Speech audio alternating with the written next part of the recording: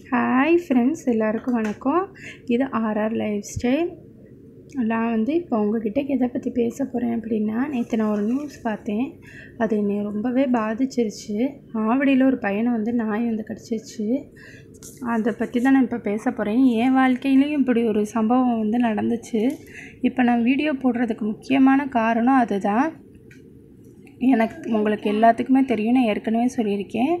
எனக்கு twin baby பாய்னு அதில் வந்து சின்ன பையனை வந்து நாய் வந்து கடிச்சிருச்சுங்க நாங்கள் வந்து இப்படியே காத்தாட அப்படியே வயலுக்கு வந்தோம். வயலுக்கு வந்ததுனால சரி நம்ம ஒரு வீடியோ போடலாம் அப்படின்னு சொல்லிட்டு இந்த வீடியோ போட்டோம். பார்த்தா காற்று சுத்தமாக எங்களுக்கு வந்து சப்போர்ட் பண்ணவே இல்லை. நான் பேசுகிற வாய்ஸே அதில் கேட்கல. அதனால தான் நான் மெயினாக இப்போ வீடியோ வீடியோ போடுறேன். வாய்ஸ் ஓவரே கொடுக்குறேன். சரி இப்போ வந்து நம்ம வந்து டாபிக்கு வருவோம். என்னோடய பையன் என்ன நாய் கடிச்சிருச்சுன்னு சொன்னேன்ல. அது வந்து வீட்டில் வளர்க்குற நாய் தாங்க. அது ரொம்ப பெட்டாக நாங்கள் வளர்த்தோம். அவ்வளோ நல்லா வளர்த்தோம் நாங்கள் அவன் மேலே அவ்வளோ பாசமாக இருக்கும். குழந்த பிறந்தப்போ அவங்க ரெண்டு பேர்த்தையும் நீ தூக்கக்கூட விடாது. நான் தாண்டா அம்மா அப்படின்னு சொல்லிட்டு நான் வந்து அதுக்கிட்ட சொல்லுவேன். குழச்சிச்சு. அவ்வளோ பாசமாக இருந்துச்சு. கடைசியில் அதுவே இப்படி கடிக்கும்னு நாங்கள் நினச்சி கூட பார்க்கல. தம்பி ரோஹித் வந்து ரொம்ப பெட்டாக இருந்தான். அதுக்கு கிஸ் பண்ணான் ஹக் பண்ணுவான். அதுவுமே அவனோட அவ்வளோ நல்லா ஃப்ரெண்ட்லியாக இருந்துச்சு. எங்களோட அறியாமல் தான் நாங்கள் வந்து அதுக்கு வந்து வேக்சின் எதுவுமே போடவே இல்லை. போன வருஷம் மே மாதத்தில் வந்து அதுக்கு வந்து ரொம்ப எப்படி சொல்கிறது ரொம்ப நாக்க தொங்க போட்டுட்டு அதோட ஆக்டிவிட்டீஸே மாறிடுச்சு. தண்ணி குடிக்கலவே இல்லை. வீட்டையே சுற்றி சுற்றி சுற்றி சுற்றி பார்த்துச்சு. அப்போ எங்களுக்கு தெரியாததுக்கு ரேபிஸ் இருக்கும் அப்படின்னு சொல்லிட்டு. பார்த்தா அதுக்கு வந்து ரேபிஸ் இருந்திருக்கு. நான் போர்ட்டிக்கோவில் உட்காந்து நான் எங்கள் மாமனார் எல்லோரும் உட்காந்து பேசிகிட்டு போது ஒரு ஃபோன் கால் வந்துச்சுன்னு நான் எடுக்க தம்பியை தூக்கிக்கிட்டு உள்ளே வந்தேன். உள்ளே வரும்போது கரெக்டாக அந்த காலை எப்படி கவ்விச்சுங்க அப்படி ஒரு கடி. அதை வந்து எங்களால் மறக்கவே முடியாது. அதாவது இந்த மாதிரி எல்லா சைடுமே அந்த காலில் அஞ்சு விரலுக்கு இலையுமே அப்படி கடிச்சு வச்சுருந்துச்சு. அவ்வளோ ரத்தம். எங்களுக்கு என்ன செய்கிறதுனே தெரியல. நாங்கள் உடனே தூக்கிட்டு ஜிஹெச்சுக்கு ஓடினோம். அங்கே ஜிஹெச்சில் பார்த்தா அந்த காயத்தில் வந்து அவனுக்கு எவ்வளோ காயம் இருக்கோ அதில் ஃபுல்லாக ஊசி போட்டாங்கங்க. எப்படி பத்து ஊசி போட்டாங்க. நாங்கள் வந்து ப்ளீடிங் ரொம்ப வருதேன்னு நல்லா சுற்றி கட்டி கொண்டு போனோம். அதுக்கு வந்து திட்டுனாங்க எங்களை. நாய் கடித்த இடத்துலங்க எப்பயுமே ரத்தம் வந்துச்சுன்னா அதை ஒரு துணி வச்சு கட்டாதீங்க. அது ரொம்ப ரொம்ப ரொம்ப தப்பு. நல்லா வேகமாக வர வாட்டரில் வந்து பைப்பு தண்ணியில் வந்து நல்லா காலை கழுவிடுங்க உப்பு சோப்பு போட்டு நல்லா வாஷ் பண்ணி அதுக்கப்புறம் டாக்டர்கிட்ட கூட்டிகிட்டு போங்க. அப்போ தான் அதோட பல்லுப்பட்ட இடம் அந்த பாய்சன்லாம் உள்ளே போகாதான் அது எங்களுக்கு தெரியல. பதட்டத்தில் நாங்கள் வந்து செஞ்சிட்டோம். போனோன்னே ரொம்ப தம்பி ரொம்ப அழுதான். எங்களால் பார்க்கவே முடியல. எங்கள் வாழ்க்கையிலே ரொம்ப மறக்க முடியாத சம்பவம்னு நான் அதை தான் சொல்லுவேன். ரொம்ப கஷ்டப்பட்டான். தூங்க முடியல யூரின் போக முடியல ரொம்ப கஷ்டப்பட்டான்.